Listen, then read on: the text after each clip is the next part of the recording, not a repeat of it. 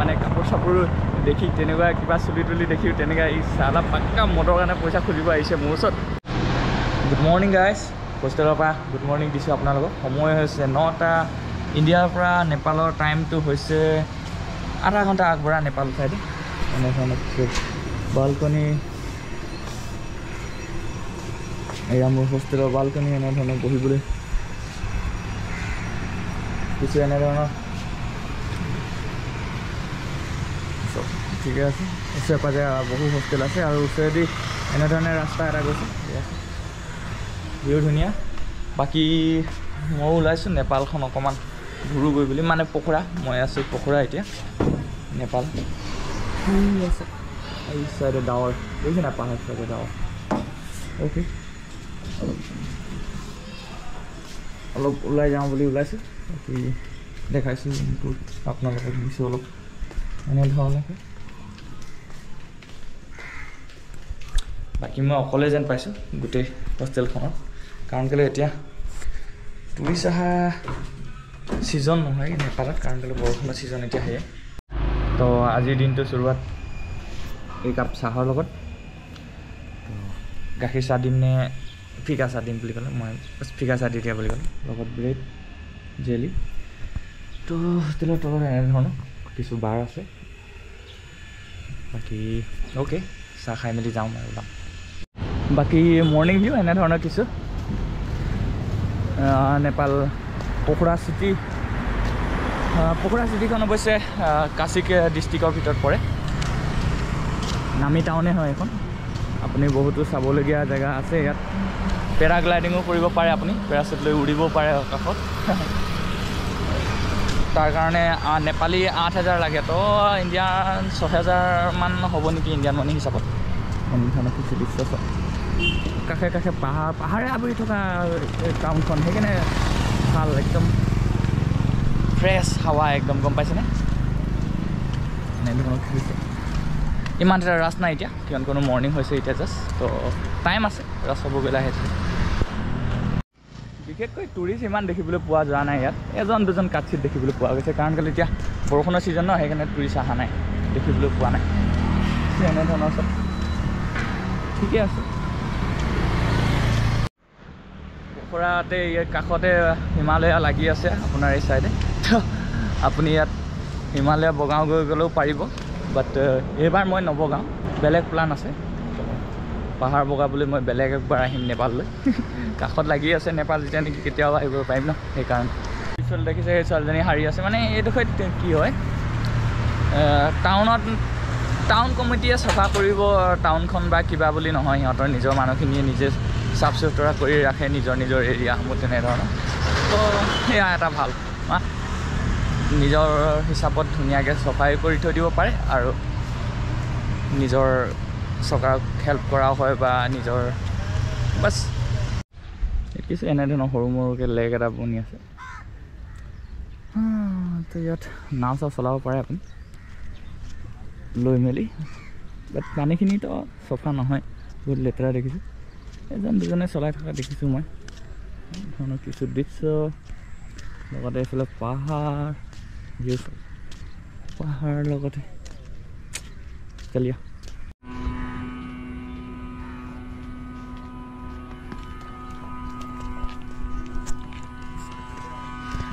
বাকী কিছুমান মানুহে এতিয়া বৰশী টোপাই থকা দেখি দেখা গৈছে ইয়াত এতিয়া। এনেধৰণে। বাকী ঠিকে আছে চব। বাকী মহল ঠাণ্ডা ৰ'দ দিয়া নাই ইমান। চাইডে কিবা মেলা টাইপৰ লাগে নেকি আগত? গৈ চাওঁচোন কিবা কিবি দেখা গৈছে। চ' আপোনালোকে অকণমান ভিউটোকে এনজয় কৰক।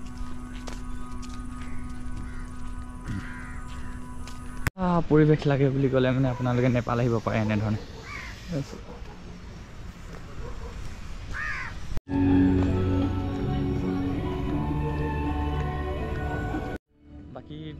আপোনালোকে দেখিলে অলপ আগত সেই চলাৰ ছিষ্টেম প্ৰায় সময় এনেধৰণে প্ৰায় জেগাতে আপোনালোকে মানে প্ৰায় জেগাতে কি হোটেলসমূহত সিহঁতৰ প্ৰায় চলাৰ ছিষ্টেম থাকে কাৰণ কেলৈ চৌবিছ ঘণ্টাই ইহঁতৰ ইয়াত কাৰেণ্ট নাথাকে।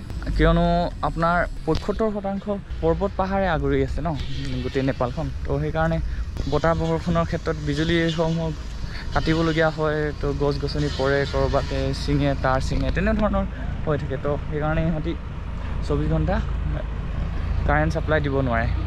তো কাহিনী তেনেকুৱা।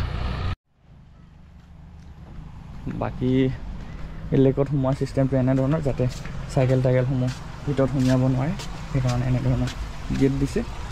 অকল মানুহ যাব পাৰিব খোজকাঢ়ি সেইকাৰণে ধৰণৰ গেট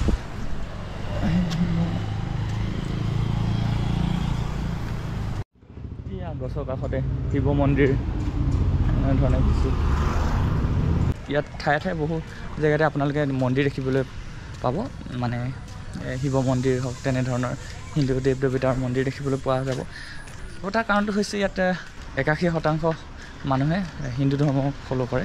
সেইকাৰণে প্ৰায় জেগাতে এনেধৰণৰ শিৱ মন্দিৰ অথবা অন্য হিন্দু দেৱ দেৱতাৰ মন্দিৰ দেখি দেখিবলৈ পাব আপোনালোকে। বাকী ন শতাংশ মানুহ আপোনালোকে দেখিব পাব বুদ্ধিষ্টক ফ'ল' কৰে। বুদ্ধিষ্ট ৰিলিজন ফ'ল' কৰে। আৰু দোকান বজাৰসমূহ আছে। বাকী আৰু চাৰে চাৰি শতাংশ মুছলমানো আছে ইয়াত। বাকী বাকীসমূহ মানে আন ৰিলিজনত আছে আৰু যিসকল কোনো ধৰ্ম ফ'ল' নকৰে তেনে তেনে ক্ষেত্ৰত তেনেকুৱা আছে। কাঠমাণ্ডু হৈছে নেপালৰ হেৰি ৰাজধানী যিহেতু মই কাইলৈ যাব লাগিব। কাইলৈ বা পৰহিলৈ এয়া চাওক ইয়াত আহ, প্ৰায়সমূহ গেটত হওক মানে কাৰোবাৰ গেটত হওক বা দোকানত হওক বা হোষ্টেলত হওক তেনেধৰণৰ জেগাসমূহত প্ৰায়ভাগত ইংলিছত আৰু হিন্দীত লিখা থাকে ইহঁতৰ। গম পাইছেনে? তো আপোনালোকে হিন্দীত ধুনীয়াকৈ পঢ়িব পাৰে বাট সিহঁতৰ লেংগুৱেজটো হৈছে নেপালী বাট হিন্দীত লিখা থাকে। আখৰটো হিন্দীত থাকে ছেইম বাট উচ্চাৰণটো নেপালীত থাকে। কাৰণটো সেইটো তো হিন্দীত লিখা থাকে বাট আপুনি ইজিলি পঢ়িব পাৰে। কিন্তু বুজাত অসুবিধা হ'ব পাৰে যদি আপুনি হেৰিটো কি কয় বোলে নেপালী নাজানে। বাট হিন্দীৰ লগত মিলে নেপালীটো ইমান বেলেগ নহয় তো ধুনীয়াকৈ আপুনি বুজি পাব। বাকী এনেধৰণৰ কিছু জেগা এটাত সোমালোহি মই ঘূৰি ঘূৰি এতিয়া বাকী পখৰা টাউনখন চাই লওঁ একবাৰ। কাৰণ কেলৈ যোৱাকালি ইভিনিঙততো দেখাব নোৱাৰিলোঁ আপোনালোকক। আন্ধাৰ হৈ থাকিলে আহোঁতে। সেইকাৰণে। ঠিকে আছে চাফ চিকুণ ঠিকে আছে। বাকী এনেই টাউনখন ইফালে সিফালে পৰা চক্কৰ লগালোঁ বাকী চব ঠিক ঠাকে আছে। ঘূৰিবলৈ অকণমান লাগিব আপোনাক। ধুনীয়াকৈ এদিন বা দুদিন থাকিব লাগিব ধুনীয়াকৈ বাট মোৰ ওচৰত ইমান টাইম নাই মই নেক্সট টাইম আহিম নেপাল ভালদৰে ঘূৰিবলৈ। কাৰণ কেলৈ এবাৰ বেলেগ এটা প্লানিং বনি আছে মোৰ তো ঘৰত অতি শীঘ্ৰেই যাব লাগিব। জাষ্ট মই নেপালৰ নেপালৰ মাজেদি ৰোড ট্ৰিপহে কৰিছোঁ। অসম যাবলৈ কাৰণে। ইয়াত দিল্লীৰ পৰা আহ, ইফালে সোমাই কেনে নেপালৰ ভিতৰেদি মই অসম যাবলৈ কাৰণে ৰোড ট্ৰিপটোহে কৰিছোঁ অকল। নেপালটো ঘূৰিবলৈ নহয় এবাৰ। বাকী পাছত দেখাম ভালদৰে। বাকী এনেই ওপৰৰ পৰা আজি দেখালোঁ আপোনালোকক আজি। হয়তো মই আজি গধূলিলৈ নহ'লে কাইলৈ ৰাতিপুৱা ওলাই গুচি যাম। কাঠমাণ্ডুৰ কাৰণে। তাতো এদিনমান থাকিম তাৰপিছত আকৌ তেনেকৈ ওলাই যাম। মই হোষ্টেলতে চব ফ্ৰাইড ৰাইচ বনাই দিব ক'লোঁ কিমান চানি আছে বনাই দিলে। মজা লাগিছে খাই একদম। কিমান ল'ব সেইটো নাজানো বাট পাছত কৈ আছোঁ মই। কাহিনী এনেকুৱা মানে এই এই ৱাইন শ্বপৰ ৱাইন শ্বপৰ মুখতে মানে হেৰি অসমীয়া ল'ৰা এটাই কোনোবা ব্লগ বনাই আছিলে দেই জালিয়ামালিয়াকৈ অসমীয়াত কৈছোঁ মই অসমীয়াত মাথনি কেনে ওচৰত ৰৈ দিলোঁ আৰু ব্লগটো বনাই লওক তাৰপিছত কথা পাতিম বুলি কৈ কিনে তাৰপিছত এ, ব্লগটো ৰখিলে তাৰপিছত মই হাই ককাই বুলি ক'লোঁ। হাই বুলি কৈ কিনে ই পলাই দিলে তাৰপৰা কেলে পলালে কি ঠিক ঠিক আৰু ই পলাই দিলে মুঠতে তাৰপৰা চালা দেখি ভাবিলে কিজান বহুত চালা এইটো মদাহীটো আহিলে চাগে বুলি একদম মানে কাপোৰ চাপোৰ দেখি তেনেকুৱা কিবা চুলি তুলি দেখি তেনেকুৱা এই চালা পাক্কা মদৰ কাৰণে পইচা খুজিব আহিছে মোৰ ওচৰত। অসম পৰা আহিছিলে চাগে ইয়াত ঘূৰিছে ফুৰিছে আৰু পইচা খতম হৈ থাকিলে এতিয়া বুলি ভাবিলে কিজান পলাই দিলে। বাকী ঠিকে আছে এতিয়া অলপ ওলাই আহিছোঁ এনেধৰণৰ গধূলি গধূলি মানে বেলি পৰিছেগৈ আৰু ডুবু ডুবু হৈছে। কিছু চিটিখন দেখি কিবা মনে মোহি থৈ দিয়ে গম পাইছেনে এনেধৰণৰ কিছু পৰিৱেশটোৱে ধুনীয়া। যিটো মই নেপালগঞ্জত আছিলোঁ সেইটো সৰু চিটি আছিলে। তাৰপৰা যিহেতু আহিলোঁ ইয়াত আহিলোঁ এতিয়া। পোখৰাত এইটো অকণমান ডাঙৰ চিটি ইয়াত অলপমান উন্নত দেখা দেখিবলৈ পোৱা গৈছে। সেইডোখৰত অকণমান অকণমান কিবা একটা কমি মেছেজ হৈছিলে বাট ইয়াত ঠিকে আছে চব।